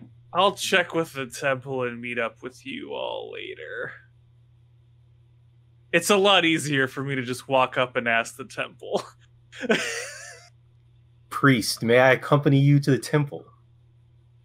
Uh, I'm gonna just I'm gonna suggest against div- dividing up the party because I haven't planned for that. No, I, am gonna say you- I'm gonna say as as Basilia is like, all right, um, why don't we make this democratic? There's five of us, so we can't land on an even number. Everybody in favor of going with the Yordles plans, say aye. Sw- Swar leans back in and goes, "What the what the, what the what the hell is democracy?" and then he kind of just sk- skedaddles away. Uh, he does also mention that uh, he said to meet up back here after nightfall. Cool. So any any nobody votes for for Yarno's plan? Guys, uh, we Yordo's a pretty. We we know what we're doing here. Why don't we just ask the I'm gonna- temple I'm since gonna it's cut it. free and I'm a priest, and then we can go to the gambling hall if nothing happens. Or nothing's Uh, gained. I should also mention that there is there's a lot of temples of uh, Nagakabouros in town. Uh, the one closest to the slaughter docks is not your specific temple.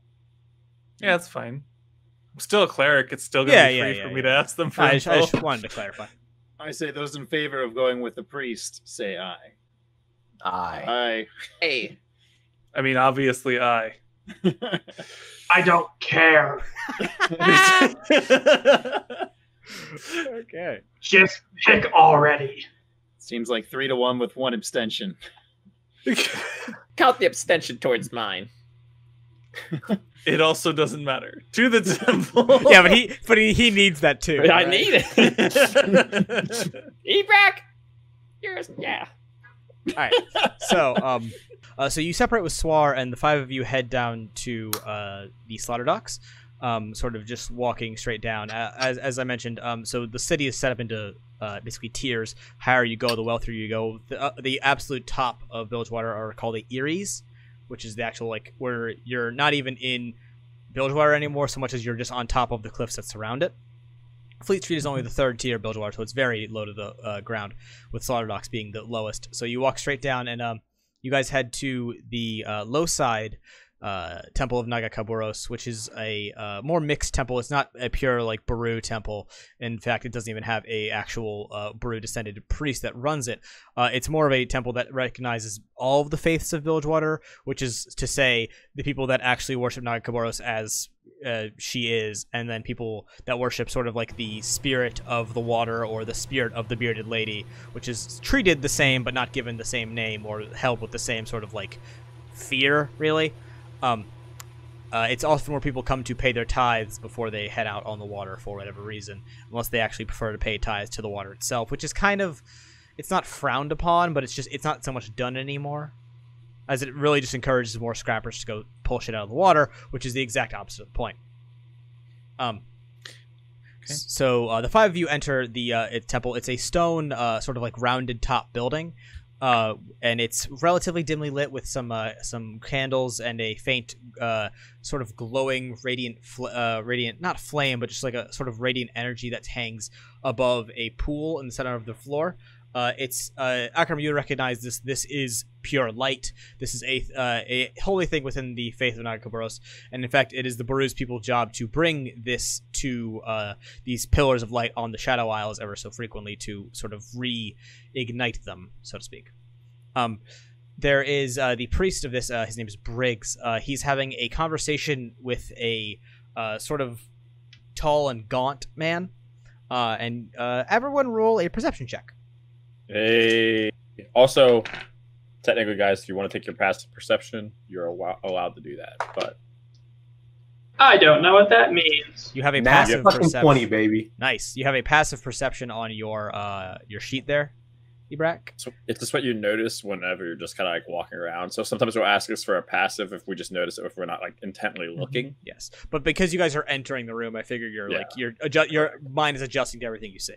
So yeah, Uh, I got a 21 for me. Oh, wow. I got a twelve. Okay. everybody's killing it right now. Oh, I got a 19. Wow, holy. Uh, I got a 14. Okay, so uh, Yarno, Deltram, and uh, Akram, you uh, notice that this guy is he's quite tall. You'd say he's probably six three or so, uh, but he, he is a he is a human. Uh, he has his hair is like partially colored, not in the way that like it's like split or like he dyed part of it. It's almost as if uh, his hair is for some reason just discolored in a chunk of it. Uh, other than that, he has brown hair, but he has a, a sort of like a misshapen streak of uh, a dusty kind of uh, blonde. His Kinda left, like like a birthmark in your hair. uh, it's something that it's something that it doesn't look like he's always had it. If that makes any sense. Okay. Um, uh, he's wearing a pretty well-made uh, pirate's cloak, something you'd see on a lot of uh, characters in Bilgewater, um, but it doesn't fit him very well. Uh, and in fact, one of the sleeves of it is has been torn off. It looks deliberately because it's been sort of cut, uh, and the arm that it is in is uh, wrapped heavily all the way from sort of bottom of wrist all the way up to right beneath the shoulder, and it's wrapped in bandages that have gotten quite dirty. But they're you can tell that they're they're not like old. They're still relatively fresh. They're just dirty. Um, Not not dirty with blood, just like dirt. dirty with dirt, grime, general. Okay. Not He's nonsense. still got a hand though, right? It's just or Yes, he it like has—he has his hand, and uh, on the hand, uh, in the hand, sorry, in the hand on that arm, uh, he has a silver-tipped cane with some sort of something is on the handle, but it's obviously covered by his hand, so you can't see it. And he is heavily leaning on that side of his hand, even though, it, sorry, on that side of his body, even though it appears to be the weaker of the two sides, as his other arm. I mean, as far as you can tell, it's in a jacket, but it seems to be fine. Um, Akram, uh, you don't recognize this man at all y- as a as a he's not he's not a temple goer as far as you can tell, Okay. And uh, he's speaking to uh, the priest Briggs and um, all of you over here. The- Uh, sorry, uh, Basilian Ebrak, you did not notice his arm, uh, but you do overhear this bit of conversation as well as uh, everyone else does. Um, he sort of uh, he's not muttering so much as he has like just a kind of raspy hoarse voice, and he admonishes Briggs and sort of says, That light in the sky, you know what it brings, just as well as I do. And he slams his cane down, and he turns and he uh, hobbles out of uh, the uh, sorry, the temple. Uh, he's he he he doesn't walk with a limp. Like he seems to walk fine, but he always puts the cane forward and pushes it really like really secures it to the ground before he steps forward. Did he pay attention to us at all when he walked out? He like acknowledges you with a look, Okay. um, and uh, I'll, I'll give that a passive perception. Uh, he has very pale eyes. They're not like they're not fully white, and they're not like any distinct fully color, but they're like a very sunken and like almo- uh, unnatural, you would say, green. Hmm. Um, and he just sort of like gives you a one star, doesn't like doesn't acknowledge you much, uh, and walks past. Is there is there anything else we should know about Saw Gerrera? Fuck off. You, you did a Saw Gerrera voice there. I, it was a good one though. Oh no, it was great. It was great. Um, and uh, yeah, he he leaves, and Briggs he has like a towel for like w- wiping down the, the pool area after you know people come in and splash themselves and all that business. Um, he sort of like tosses it over his shoulder and just goes, "Whew." Uh, I'm gonna approach Briggs. Uh, yeah, Briggs, uh, seeing you and realizing, oh, hey, it's another fucking priest, uh, opens his arms and sort of brings you in for a hug and kind of grabs you by the shoulders. Akram, how are you? How's the family? Uh, you know I don't know, but I'm fine. He goes, wrong answer. We're all family here, buddy. okay, who was the uh, man that was with the cane? and Uh, I don't, I don't fucking know. He's some, he's some guy that apparently was trying to speak to Illaoi up the temple, and she wouldn't see him, and then the uh, Tala's mother wouldn't see him. Eh, I don't know. He's Did apparent, he's apparently warning about some light. I, I have no, I have no idea what he was talking about, frankly. Interesting. And uh, you, you don't need to roll for this. You, Briggs Okay. isn't lying to you. You know him Okay. well enough to know that he was. He has no reason to lie to you. What was he saying about the light? I heard he said like you know what it means or some shit like that. apparently he was out somewhere with another Buhru priest. He refused to say the name, uh, which you know, of course, I'm going to be suspicious of that. Uh, and they saw a light in the sky, something cross the sky that apparently spells doom for Bilgewater. I mean, look, man, I, I I literally get this seven times a day. Seven times. That's a lot. Oh, I mean, you know, we get crazies to come in here and they're like, "Doom, we are doomed." And uh, as he does that, people in the temple kind of look over, like, "What the fuck are they talking about?" Bilgewater seems very fun. I just like wave the people looking over off, like, eh, don't don't pay mind to this. And uh, Uh, I need. Do you have a coin on you, Mizuki, or can you like roll a d10? I, guess. I can acquire a coin. One sec. Okay. Flip it. Uh, call heads. Uh, uh, I'm calling heads. Says Uh, he goes, "Oh, right, and this," and uh, he sort of like fumbles in his pockets and he pulls out a little golden coin. You would note that it is not currency of Bilgewater. And he goes, and he he he insisted on giving me this, and I asked him if it was for a tithe, but he said I would should just hold on to it until then. I don't know what the fuck that means. Uh, looking over the coin, does it So ring any bells? So he he shows you the coin. He actually just hands it to you flat out. Uh, uh, it is a coin with two faces on it. Uh, on one face is a woman wearing what is kind of like an armored, not like helmet, but it's almost like an armored shawl that has been pulled over her. Uh, and her actual face is obscure, but you could tell it is a lady's face. Um, and on the other uh, side of it is uh, what can only be described as a fucking skeleton. Uh, it's it is a it is a skeleton's face, and uh, carved into the individual eye sockets of a face is a symbol, which I am going to pull up for you guys. There's a Ooh. there's this symbol in each of the eyes of the skull. Have we? Have I seen this symbol before? Uh, Have I seen the symbol? Can I roll for anything? Akram, on do you this? show this? Do you show the coin to your? Oh compatriots? shit! Uh, after I take a look at it, I will show it. Yes, Okay. Um. I have knowledge religion, if that is helpful. Thing is, it is a religion check, but I don't know if. I'm gonna say you don't know what this is. Okay. Uh, sure. Why not? I'll kind of hold the coin up. Actually, with the... fuck it. No, uh, that's not fair. Roll a religion check. I'm just gonna make yours needs to be higher. Jesus. Uh, one sec. And 19 on the die. 24. Wow.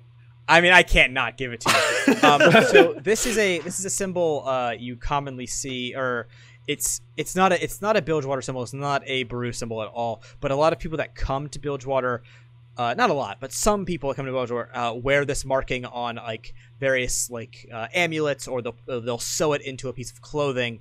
Uh, this is the symbol of the caretaker. Uh, Hey. who that's actually the only name you you know it by. Uh, it is a not a religion so much as a observed spirit on a lot of mainland Runeterra and some parts of Ionia. um, that is said to bring luck, basically. Okay. Well, it sounds great then. We're all good. We're well, lucky. you haven't you don't know it exists. Akram, do you Yeah, now shut want up, to do Basilio. you now want to show it to the, the boys? Yeah, I'll, I'll show it to him, being like, Every everyone roll a religion or Arcana check if you prefer. Hey, hey, I'll do an Arcana check. Hell yeah. I've dude. actually just been leaning against a wall somewhere. I'm not even in this I'm conversation. Ebrak's I just, don't- just smoking a pipe with his fucking shotgun. yeah, I don't. I don't give a shit about this. I'm leaning against a wall somewhere, waiting for us to leave and do something interesting. So I'm not even gonna roll. Oh, I got Uh, 19. I got Yordle. a- I got a 16. 12. Arcana check. Okay. Um. Uh. Sorry. What did you get, Yarno? Uh, 19. Okay. Ebrak. Uh, Ebrak isn't, isn't rolling. Uh. Basilio. I got a 16. Uh. Basilio and uh. Sorry. Basilio and Deltram. Uh. You are both familiar with this as just this is the sign of the caretaker. It is a thing you are familiar with. Um. Basilio. No, actually, that's that's all you guys know. It, it's a symbol of the caretaker. It's it's a it's a common spirit of uh, symbol of good luck. Uh, it refers to a spirit that, if you know, some people believe in, but eh, it's a it's a varying realness. Uh, Yarno, Mhm. you know this as the symbol of the caretaker as well. Uh, specifically, you know it as the symbol of Bard, uh, which is a a, a it's a, not necessarily a name so much as an archaic word used to describe it. It is translated from uh, what is believed to be ancient Targonian, but it could also be ancient Shuriman. Um, Oh, perfect. That's Uh, my real it is right a here. it is a symbol that you have seen all over uh, Shuriman deserts, uh, particularly in places that are were considered left behind by the Ascended and the other Shuriman uh, deities, for lack of a better word. Uh, it, it it is uh, largely considered in a lot of places to be a an option as opposed to the regular religions. Okay. I uh as a you know, practitioner of luck-based, you know, plays, i will also indulge my comrades in what this actually means and try to clarify and help Yes. let them know if they were a little bit at a loss. It's like, Bard and me. I don't know Bard, but uh, I, I do know what he, he strives for. Yes. Uh, I, I, have, a- I, have a, I have a quick question actually. Uh, Yarno, Basilio, and Deltram. Do I do any of you believe in Bard or the caretaker, as you was Basilio and Deltram? Uh, I'm pretty sure I would. Yeah, So I, you- I believe he you- probably exists. You believe that he's like, he's real. Uh, it's real. yes, yeah. Uh, I would say that Basilio is agnostic on that. Like he he wants to believe it, but it, he has not necessarily seen any proof of it. Right. I've seen some crazy shit, so I'm gonna believe he's real. Uh, I absolutely think pretty much all the gods are real in some way, shape, or form. Uh, Yeah. I should clarify. So- This is not a god in the way that uh, the Freljordian gods, like Volibear, Ornn, and them are. You, of course, are aware of their existence. They do exist, and they are an active participant in the world. Not active so much, but they, you know, they they're around. Uh, Yeah. The caretaker is known about, and like people say that the caretaker steps in to basically keep the world on the right track, but it's not. It's not an active like knowledge. Like there's n- there's no people that are like I've seen the caretaker and lived. Whereas people that are like I saw Volibear, it was fucking wild. I guess I'm of the opinion that there's like greater gods and Okay. lesser gods, whether or not they're uh, thought of in that way. I So I'm that's like, oh yeah, that god, of course, he's and real. Akram, I assume people you only believe in Nagakabouros. I mean, It as a god, yeah, it is a there- it it's is a probably monotheistic the. religion. I was gonna say there might be an acknowledgement of like other powerful spiritual beings. Yeah, you you would more likely assume that it is a powerful spirit akin to the the uh, ruined king. Yeah, exactly. But the, as far as like God, no, no, there's there's one, and it's a giant kraken god. Hell yeah, with a million faces. Um, okay, and, and, uh, tentacles. Yes, and uh, so Akram, you presumably turned to ask uh, Billy Briggs about uh, the the ship that was pulled into harbor. yes. Know uh, anything about the creepy ship?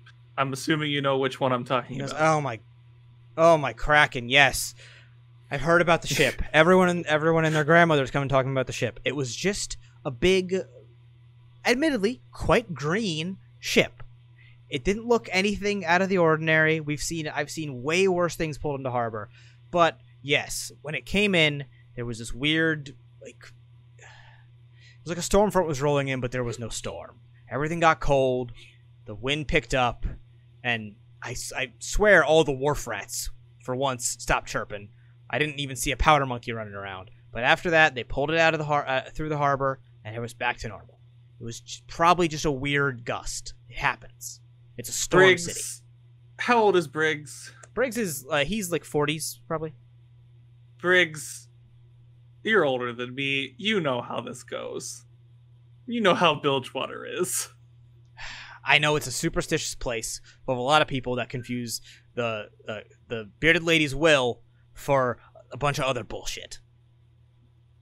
I just mean every time weird stuff gets pulled into harbor and people talk about it, it's usually like a grain of truth. There's something there, right?